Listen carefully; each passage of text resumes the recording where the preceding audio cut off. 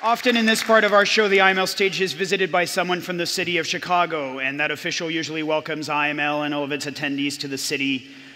After the long, hard fights and dark times LGBTQ folks endured and continue to endure while fighting for civil and social rights in this country, it is validating and empowering to have that city official enter our space and attend our event to let us know we are seen and seen as positive contributors to the city's beautifully diverse community.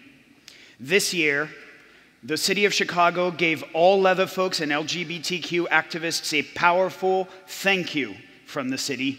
They gave a stretch of Clark Street the honorary street name of Chuck Renslow Way. Last weekend, Chuck's partner and longtime Renslow family member, Ron Ehemann, invited leatherfolk and activists to the intersection of Clark Street and Winnemac and held an unveiling ceremony. We wanted to share a few moments of that street name unveiling with you. First of all, I want to thank you all for coming down here.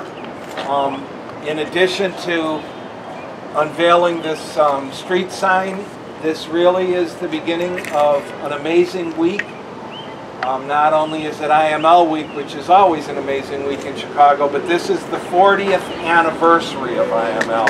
I appreciate both the Chamber and the 47th Ward for making this happen. Um, it's, truthfully, it's always difficult for me to talk for Chuck because Chuck really belonged to a whole lot more people than me. Um, and obviously, by your turnout, he belonged to all of you. So, with all of that said, and uh, with the city's approval, here is Chuck Renslow Memorial Way.